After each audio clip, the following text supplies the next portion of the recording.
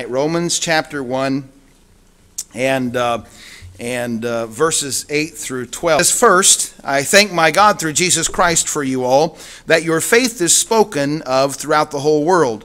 For God is my witness, whom I serve with my spirit in the gospel of his Son, that without ceasing I make mention of you in my prayers, by making request, if by any means now at length I might have a prosperous journey by the will of God to come unto you. For I long to see you that I may impart unto you some spiritual gift to the end you may be established. That is, they, that I may be comforted together with you by the mutual faith both of you and me. Uh, two Wednesday nights ago, I began a new series of messages on the subject of prayer, and and here's what uh, here's the kind of the concept that I'm trying to get across. Remember in Luke chapter 11, the disciples came to the Lord Jesus Christ said, "Teach us to pray," as John also taught his disciples, and Jesus began began to teach his disciples to pray, and he said, When you pray, say, Our Father which art in heaven, hallowed be thy name. Thy kingdom come, thy will be done on earth as it is in heaven, and uh, so forth, and goes on from there. And, and here's the thing that came to my mind. You know, Jesus is the master teacher. They asked Jesus to teach them to pray. Jesus, who is the master teacher, answered their prayer uh, and taught them to pray. And I've got to thinking about it. Well, if he taught the apostles how to pray, they probably got something to tell us about praying. And uh, so I got to just what I wanted to do is just go through the uh, the um, the New Testament, especially both the, especially the epistles and um, the writings of the apostles there. And I want to see what they can teach us about praying, both in their epistles and in their the recorded prayers of the apostles. And and so that's kind of what we're going to be doing over the next however long it takes to do this. We'll be looking at it really a, a book by book of the new testament talking about those epistles there of the new testament looking to see what we can learn about prayer both by what the, the apostles taught on the subject of prayer and also by the examples uh, that we will have of, of, their, of their own personal prayers. That's what we're going to do uh, in this series as we go through there. So we're going to begin tonight uh, with the book of Romans. It is the first of the epistles.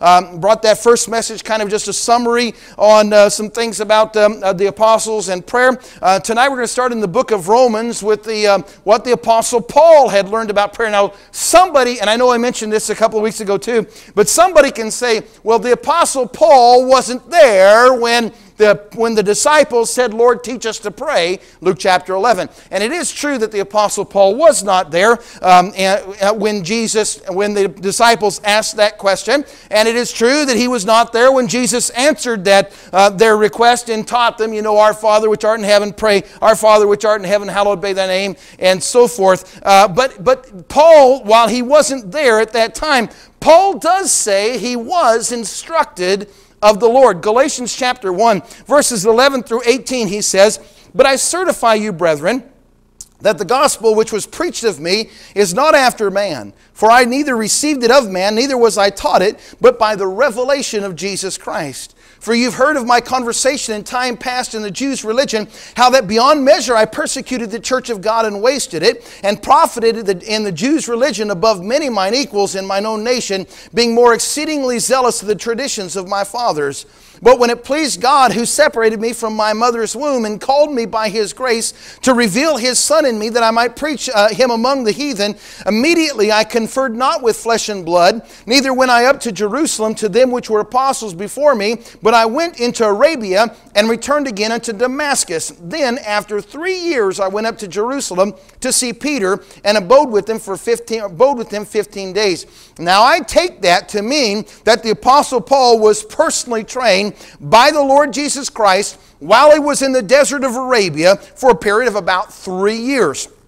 And, uh, and personally taught, of course, the disciple, all the other apostles were trained during a three year, about three and a half year period of time. And I personally believe that the apostle Paul had the same experience, kind of a one on one experience with the Lord Jesus Christ during those three years. He had, he had um, separated himself from the brethren, uh, been, you know, after having to flee Damascus, had headed up back into his home area where he had grown up. And, um, and he says for three years, I believe he's saying for three years he had been in instructed by given revelation of Jesus Christ, given instruction in that period of time. And, um, and, and I believe that the Lord Jesus Christ taught him there how to pray. Because uh, I'll tell you something, if there's anything we can learn about the Apostle Paul at all, the man knew to pray.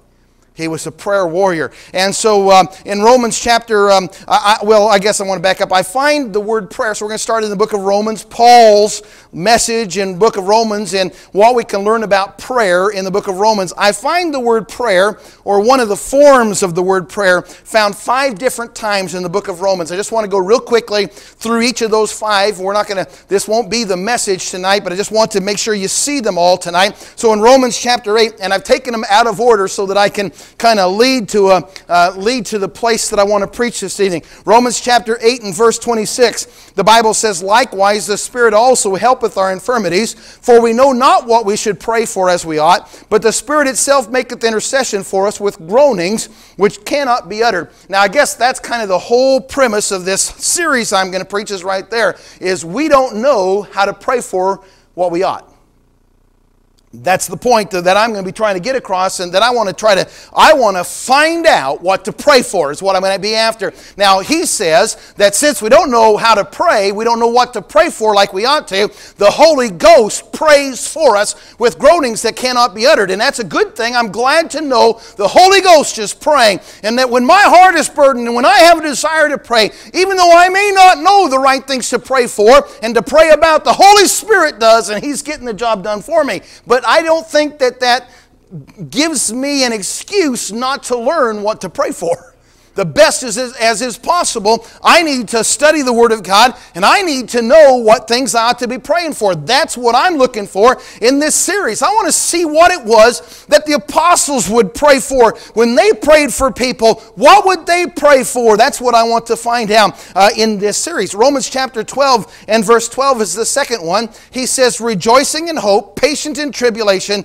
continuing instant in prayer. Now, Romans chapter 12, he had started talking about um, the the gifts of the Spirit. And when we're given these gifts, and some of them will be ruling gifts, and some of them will be teaching gifts, and some of them will be helping gifts, and so forth. And he goes, once we've got those gifts, he begins to describe the person who is, um, I'm going to call it spirit filled, who is being led by and uh, controlled by the Holy Spirit. And he describes this person, and some of the things he says about that person who is controlled by the Holy Spirit. He'll be rejoicing in hope, he'll be patient in tribulation, he'll be, con- and he will he will be continuing instant in prayer. And, and, um, and that ought to be when a person is submitted to the Holy Spirit, you're going to find that they, that they pray and, um, and that it is a, it's kind of like a, um, a, natural thing when, when uh, everything drives them to prayer and brings them to the place of prayer. Romans chapter 15 and verse 30 is the third one. He says, Now I beseech you, brethren, by the Lord Jesus Christ, I'm sorry, I beseech you, brethren, for the Lord Jesus Christ's sake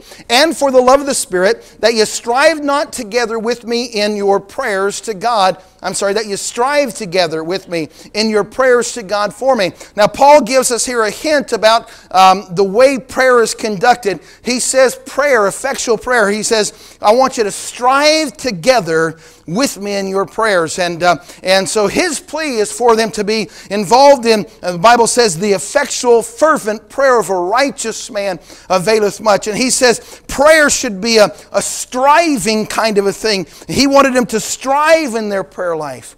And then Romans chapter 1 and verse 9, he says, For God is my witness, whom I serve with my spirit in the gospel of his Son, that without ceasing I make mention of you always in my prayers. Now, here we're learning something about the prayer life of the Apostle Paul. Uh, he never quit praying for these people, he never gave up on the requests he had to God for them. He would not cease to pray for them. Every time he prayed, he included these people in his prayers. That's what he says there. Without ceasing, I make mention mention of you always in my prayers. And then Romans chapter 10 and verse 1 is the final time you find the word prayer in one of its forms found in the book of Romans. Romans chapter 10 and verse 1, the Apostle Paul says, Brethren, my heart's desire and prayer to God for Israel is that they might be saved. Now, I think verse I think Romans chapter 10 and verse 1 is the heart of the book of Romans. Um, uh, I believe that the, the subject of the book of Romans is the doctrine of salvation.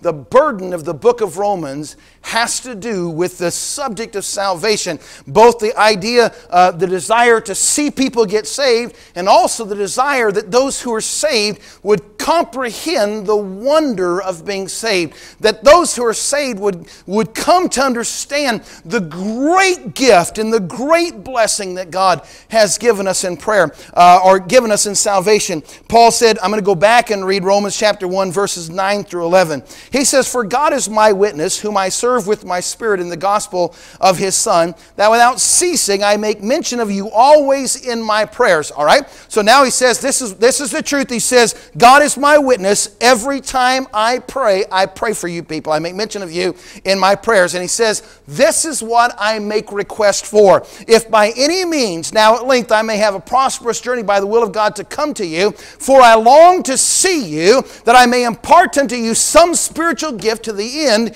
you may be established. Paul said the reason he prayed for them is so that he could come to them and impart unto them a spiritual gift. He called it some spiritual gift for the purpose to the end that they may be established. And I want to give you something, you know, through this series, really that's going to be my, my desire and my burden in this series is to give you something in this series that to impart, can I put it like that, some spiritual gift that'll establish you, that'll build you up in your faith, that'll strengthen you in your faith, that'll give you some stability in your faith, especially in the area of prayer and learning how to pray and learning what to pray for as we ought and getting a, a, a, a getting a hold of the things that God would have us to pray about. I want to give you something that'll help in your faith. And I'm of the opinion that the thing Paul wanted to impart to them, that spiritual gift, he said, I want it to come so I can impart it to you some spiritual gift I'm of the opinion that this spiritual gift he wanted to impart unto them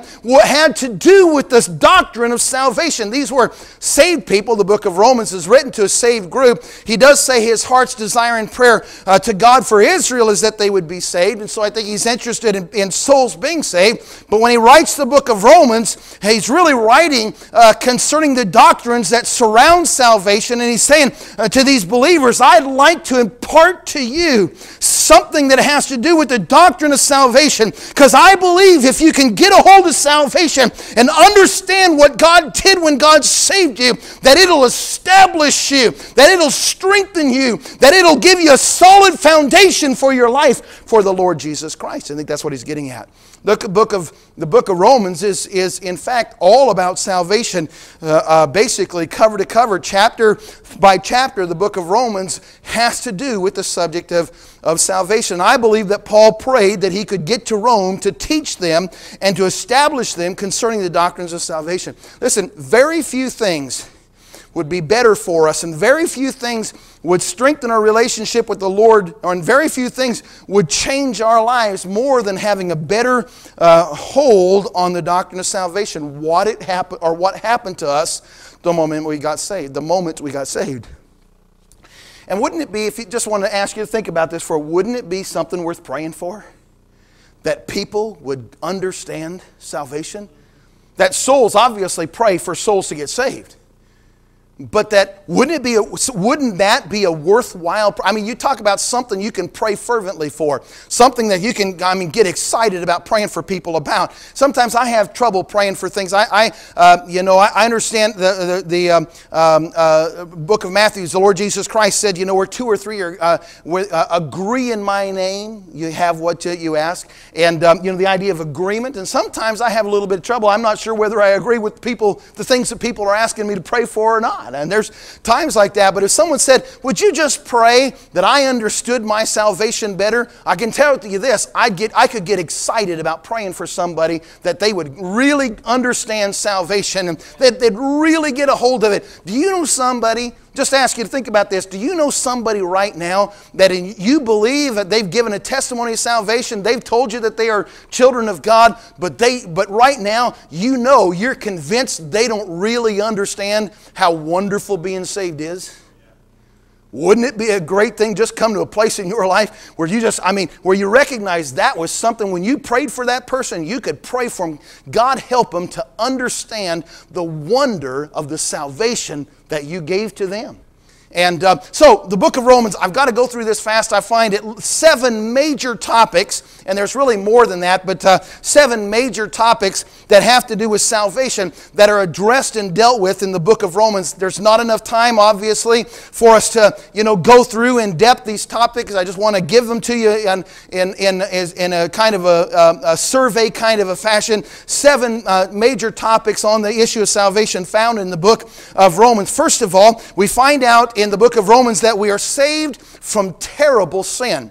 The first issue that we want to know about is, you know, saved. The word saved means if you're going to get saved, you're going to have to get saved from something, which is one of the major, one of the problems we have in the world today is people think that salvation has nothing to do with, you know, uh, heaven or hell. Salvation has nothing to do with, uh, you know, my being in peril and my being in jeopardy and, um, and my being rescued. People think today that salvation is just making a choice to live for God. It's a lifestyle choice.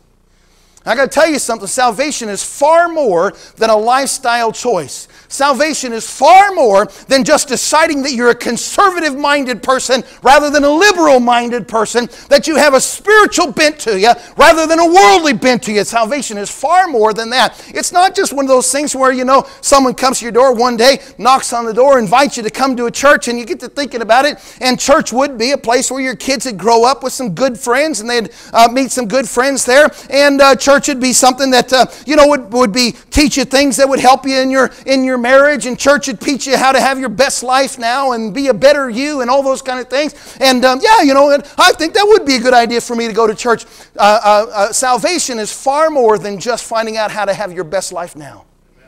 The fact of the matter is, we are sinners, and because we're sinners, we face the judgment of God. We need to be saved.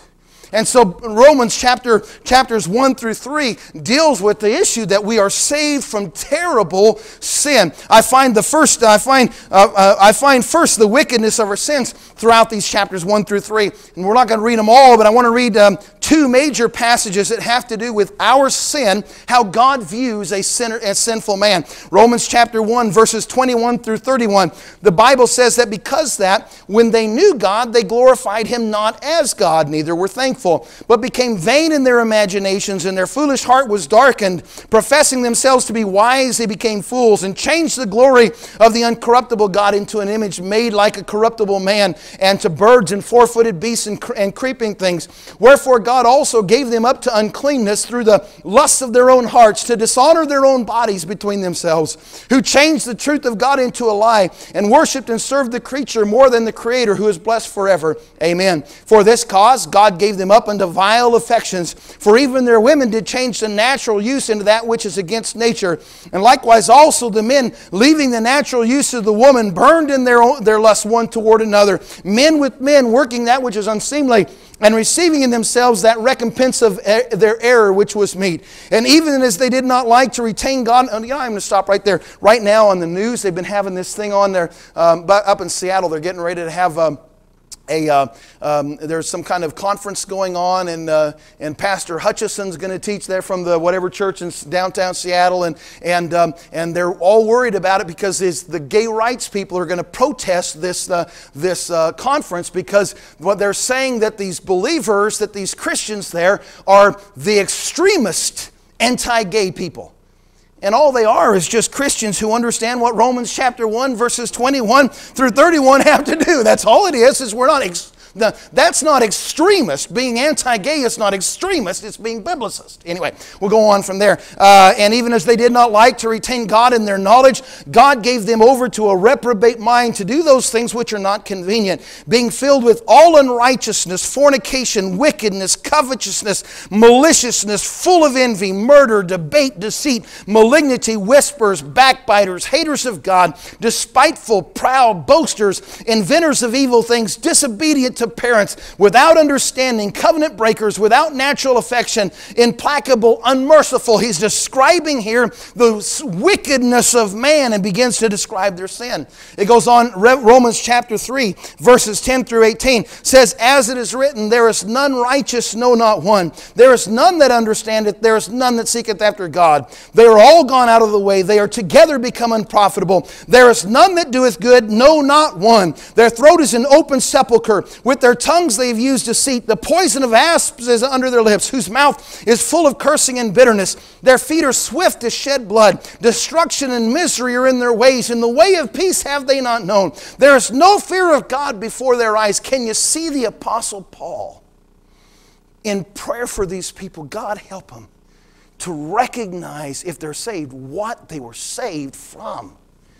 Help them to see how horrible their sin was. And for that person who is lost, help them, Heavenly Father, come to a place of deep conviction about their sins. This morning in my devotions, I was reading in Acts chapter 2 and verse 37, where the Bible says, after Peter preached that message on the day of Pentecost, the Bible says the the people's hearts, they were pricked in their hearts. The word pricked means to be pierced thoroughly.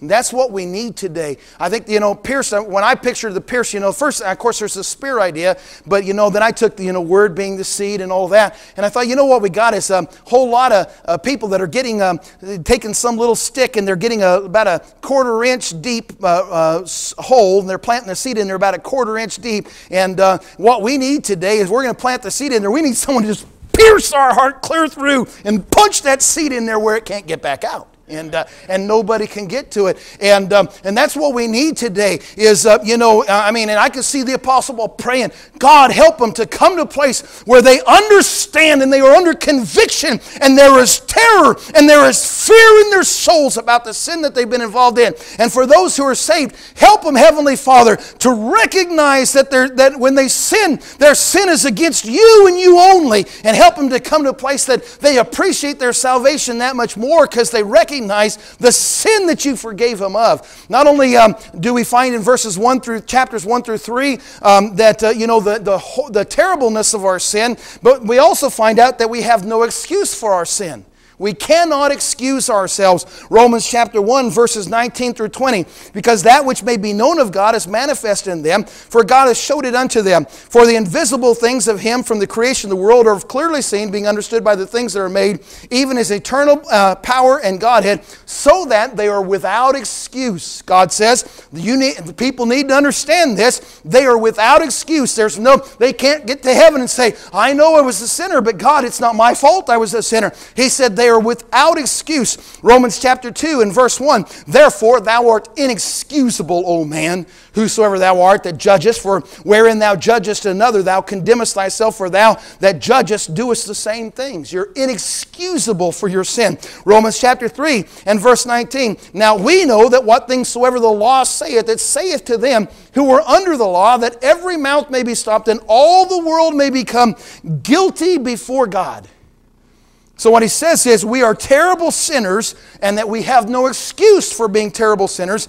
And because we are sinners and because we are without excuse, the other thing we find out in chapters 1 through 3 is that God has a great wrath for our sin.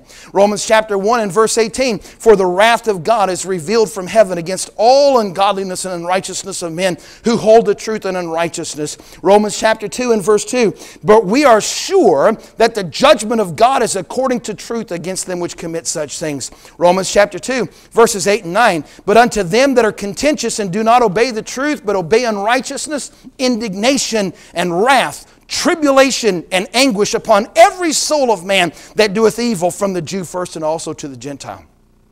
Romans chapter 3 and verse 19. Now we know that what things soever the law saith, it saith to them who are under the law, that every mouth may be stopped and all the world may become guilty before God. Now, the fact that God would save us, we who are so guilty of sin, and we whose sin is so, or whose sin is so wicked, and we who's, um, who face the wrath of God, and that God would save us is such a truth that if we ever got a hold of it, we'd never be sad again. If we ever really came to the place where we understood what salvation is, we would rejoice, period.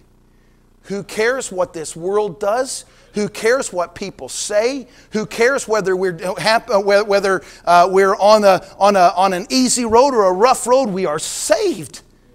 I mean, we were, I mean, when you come to a place where you recognize the condemnation you were under, the wrath that you were facing, and that God would save you from that. Once that's happened, I mean, everything else seems pretty, pretty petty after that. And uh, if you come to the place where you understand it, number one, we are saved from terrible sin. Romans also teaches us that number two, we are saved completely by faith. Chapter 4 tells us that. And, um, and I, again, just got to go through this real quickly. Chapter 4 and verse 3 For what saith the Scripture?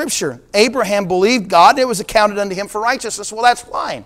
Abraham was saved by believing. All he did was believe, and because he believed, God said he was righteous. All right, that's fine for Abraham. What about me? Romans chapter 4, verses 23 and 24. Now, it was not written for his sake alone that it was imputed to him, but for us also to whom it, it shall be imputed if we believe on him that raised up Jesus our Lord from the dead.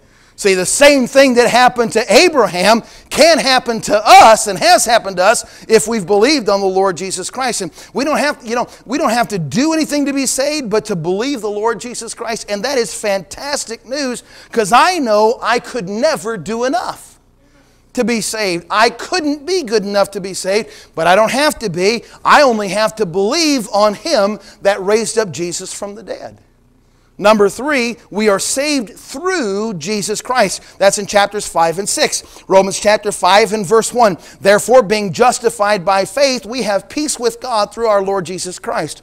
Romans chapter 5 and verse 8. But God commendeth his love toward us, in that while we were yet sinners, Christ died for us. Romans chapter 6 and verse 23. For the wages of sin is death, but the gift of God is eternal life through Jesus Christ our Lord. Now, the reason I don't have to work out out my own salvation is because Jesus already worked it out for me.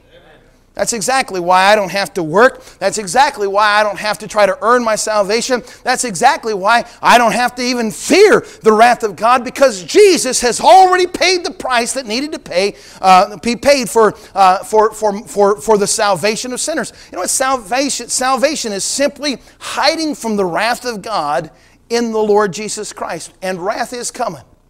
I mean, there's, not gonna, there's no getting around it. There's no way to resist it. The devil, you know, the Antichrist, he's going to put his army together and shake his fist at Jesus and try to stop the wrath of God from coming. But he won't be able to get the job done. The wrath of God is coming. But if we'll just go and hide behind Jesus like a big brother, we're joint heirs with him, and he's the Son of God, the only begotten Son of God. And we who are saved have the power to become sons of God, the Bible says. When we get saved, we, God makes us the sons of God. And what we're doing when we get saved, we're just kind of hiding behind our big brother.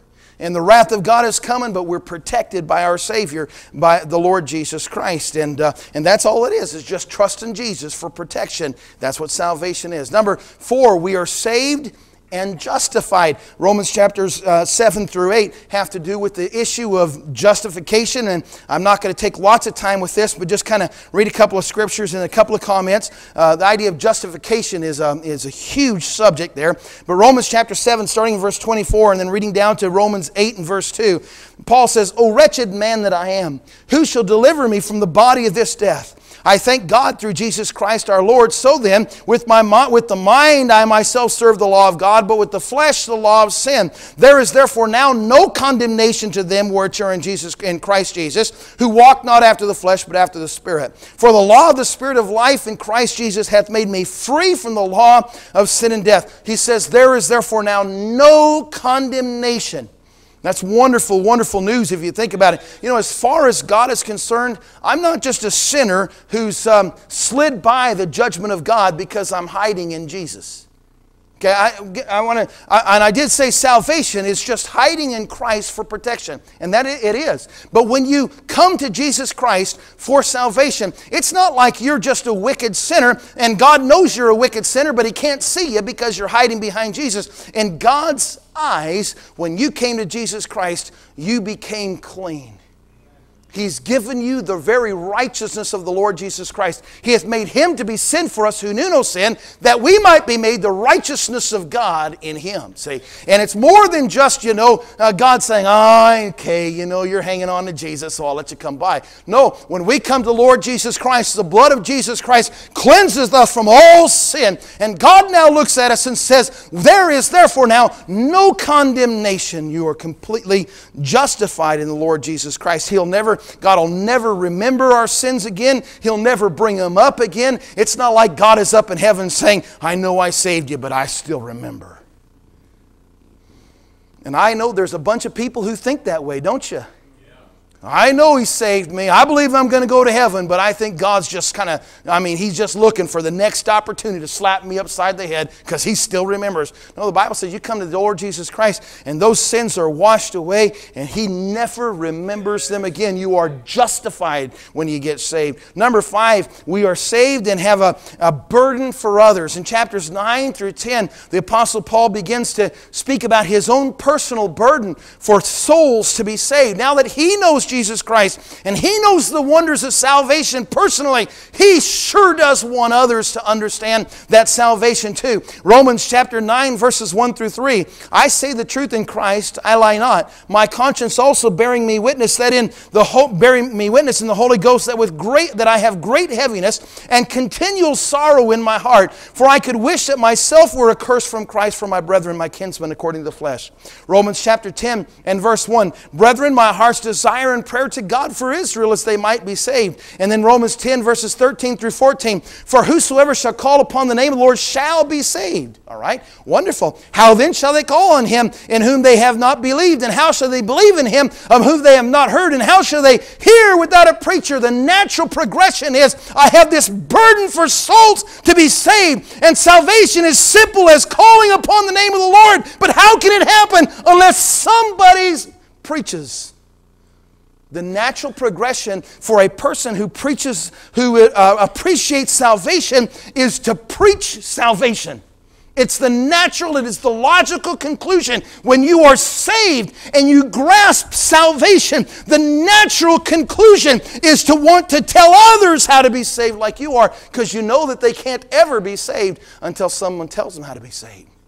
It's just the way it's good. You know, you understand that when you get saved, once you're saved. Number six, we are saved and, um, and, and given spiritual gifts. Romans chapter 12 has to do with the spiritual gifts. Chapters 12, verses 6 through 8 says, Having then gifts differing according to the grace that is given to us, whether prophecy, let us prophesy according to the proportion of faith, or ministry, let us wait on our ministering, or he that teacheth on teaching, or he that exhorteth on exhortation, he that giveth, let him do it with simplicity, he that ruleth with diligence, he that showeth mercy with cheerfulness. These, these are spiritual gifts, and, and what they do is they is they change us from the sort of person we once were, and they enable us to do the good works that God has created us to do once we're, uh, when we get saved, and they empower us to serve as useful members of a local church. And that's why he says when a person has these gifts and they exercise those gifts, that's when they um, continuing instant in prayer and, uh, and those kind of things, and they love without dissimulation and that type of thing. When they, when they exercise the spiritual gifts that God gives them at the moment of salvation, it changes us. It changes the way we behave. It changes uh, the things that we like. It changes uh, the burdens that we have in our life. Which brings us to the last point tonight. I'll be done with this. We are saved, number seven, to walk in newness of life. Now, Romans chapter 6 is where he says that when we're baptized, that we're buried in the likeness of his death and we're raised to walk in newness of life. But I borrowed that phrase from Romans 6 and brought it here to chapters 13, 14, and 15. Chapter 16 is, is really, it's just a conclusion, and, um, and I, I, shouldn't say just a conclusion. It's the conclusion of the, of the book of Romans, and, uh, and I probably could have uh, got another point out of it, but seven points is enough for tonight. And, you know, it's where he's saying, you know, greet this person, greet that person, thank God for this person, and so forth. And there, there's application, but I, I chose to kind of just uh, uh, not worry about uh, chapter 16 tonight. Chapters 13, 14, and 15 have to do with um, the, the, the character of a saved person. And uh, chapter 13 speaks of submitting to the powers that God places over our lives. And, uh, and I know it talks about more than that, but that's the main subject of chapter 13 submission to authority. Submit, a saved person recognizes authority and becomes submissive to authority. It's a, can you imagine? I mean, see, when we're praying for people and we're praying that they understand the wonders of salvation, can you see that one of the things you're praying for is that they will learn to submit to the powers that God places in their life? That's one of the things that you can pray for. That would be a just and a worthwhile thing to pray for people about. That a person would come to understand salvation and the responsibility to submit to authorities. Not just that, you know, that we buckle down and we follow this person and that person, but that we come to a place where we understand the relationship of salvation and submission to powers to authorities in our life. Chapter 14 has to do with, um, uh, it speaks of, of, not getting into doubtful disputations, you know, and, uh, uh, un, you know, understanding that everyone's going to be, we're all, every one of us who are saved, we will all stand for ourselves at the judgment seat of Christ. I do not need to judge you. God's going to do a good enough job on you himself, uh, and, um, but he's also going to do, do a good job on me. Rather than spend all my time trying to judge you, I ought to go ahead and try to figure out what I got to get fixed in my life. I'm going to stand before Him too. And I want to make sure when I stand before Him, I can stand before Him without shame. I can stand before Him, uh, you know, and, and, and, and have, have crowns and rewards to cast back at His feet. I want to, rather than spend all my time worrying about everybody else and judging everybody else and condemning everybody else, I just need to be dealing with myself. The doubtful disputations thing and getting into that, uh, you know, area of arguing about this and arguing about that. Rather than doing that stuff, just come to a place where I just, I get to know God's word and I obey God's word to the best of my ability. And you know, if the, every one of us would do that, if we just get in the Word of God and start obeying that Bible, probably, I mean, churches would have a whole bunch more unity. If everybody just decides, you know, instead of trying to figure out why this person said that and why this person sat over here and why this person didn't do this and why this person did do that and where was this person, instead of doing all that, if we just get into our Bibles and the best of our ability, under, uh, ask the Holy Spirit of God to teach us the Word of God, and then by the grace of God obey His Word, I mean, it'd just do an awful lot. It, it, that'd be revival for sure in a church. Chapter 13 speaks of submitting to powers. Chapter 14 speaks about not getting into doubtful disputations Chapter 15 speaks about bearing the infirmities of the weak, bearing one another's burdens recognizing that there are believers who need someone to come alongside and be a comfort and, and, and, and to be a cheer and to bear the infirmities of the weak. Now, none of these things, submitting to powers, uh, staying out of doubtful disputations, and bearing, the, none of the, and bearing in the infirmities of the weak, none of those things are, are um, natural for an unsaved person. They all can only be done through the power of the Holy Spirit after salvation. I can hear the Apostle Paul right now. And he's writing to these Roman believers. He said, Man, I, tell you this, I'm praying for you. Every time I pray, I pray for you without ceasing. I make mention of you in my prayers. And I'm praying that God will open a door, that I can get up there and that I can see you. And I know this is how a preacher would pray, but there's a way you can apply it for yourself too. And he's praying, I'm praying that, that, that I can get up there and see you because, man, I desire to impart some spiritual gift to you. I'd like to help you to be established in the faith. I'd like to help you to come to a place in your spiritual life where you've got strength and you've got stability and where the problems that happen don't blow you out of the, uh, out of the saddle for God. I'd like to give you something that can help you. And as he does that, uh, then he goes right from that saying, this is what I want to do, is impart some spiritual gift to you to establish you in the faith. He moves right from that, transitions right from that, says, I'm not ashamed of the gospel of Christ. It is the power of God unto salvation to everyone that believeth, to the Jew first and also to the Greek. And goes right from there to bring this treatise, treatise on the issues of salvation. Boy, that's something to pray for. And by the way, I got to thinking about this. If all we ever did is pray for Christians to understand salvation, well, we'd have plenty to pray about. You ever have one of those days where you're just not sure what to pray about? Just started praying for people to understand. If, if you took the time to study out the book of Romans and used it as a prayer list, and said, I'm going to start praying for everybody in my church. And I, in fact, let's just narrow it down. I'm going to pray for everyone in my family that they would understand salvation as it's described in the book of Romans. Well, you'd spend the rest of your life just praying right there. Figuring out what to pray and then doing the praying. That'd just be plenty for you. But I've got, I got book after book after chapter after chapter we're going to go through so it's month after month we're going to go through uh, by the time we get done you're going to be able to pray without ceasing